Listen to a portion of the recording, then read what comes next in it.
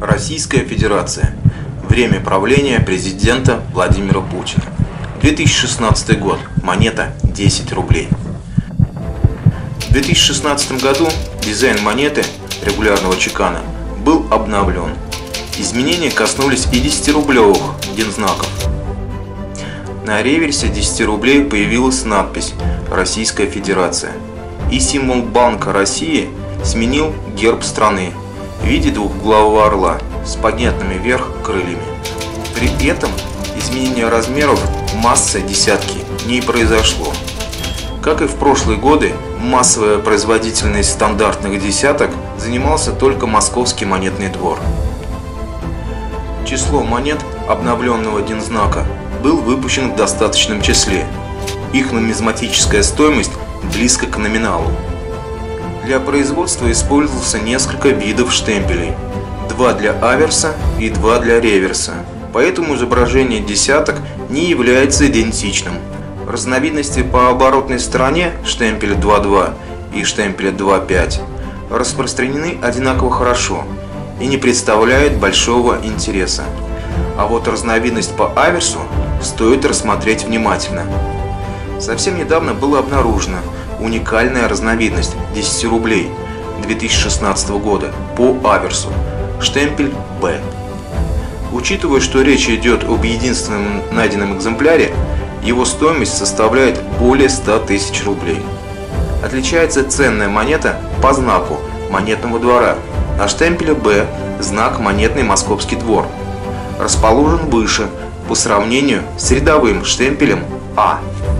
Кроме этого, на аукционах можно обнаружить много интересных экземпляров с уникальными браками, которые дорого покупаются коллекционерами.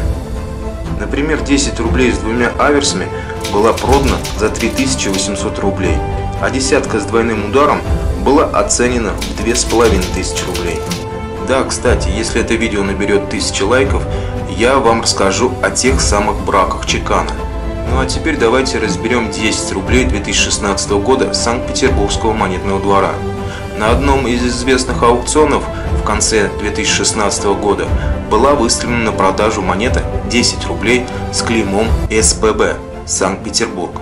Они были оценены почти в треть миллиона рублей. Пока известно только об одном экземпляре питерского чекана, что объясняет столь высокую ценность.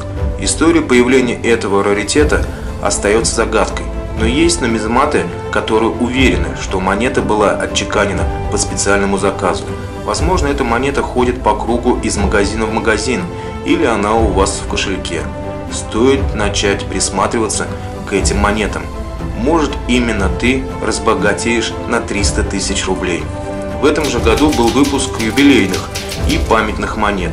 6 монет биметаллического, латунное кольцо, мельхиор диск. Ржев, Великие Луки и Зубцов. Оцениваются в 40 рублей. Эти монеты отчеканены на Московском монетном дворе. На Санкт-Петербургском монетном дворе изготавливали Белгородская область, Амурская и Иркутскую область. Также был выпуск четырех монет из стали с латунным покрытием. Старая Руса, Гатчина, Петрозаводск, Феодосия. Сегодня рассмотрели 10 рублей 2016 года, но есть и другие монеты регулярного чекана, которые стоят огромных денег. Так что смотрим мои видео и почаще заглядываем в свой кошелек. В Санкт-Петербурге в 2016 году можно было купить продукты по таким ценам. За десяток яиц отдавали 50 рублей, масло подсолнечное 60 рублей за литр, хлеб 24 рубля, мясо говядины 481 рубль. Обувь можно купить за 2 800. Проезд в метро 35 рублей.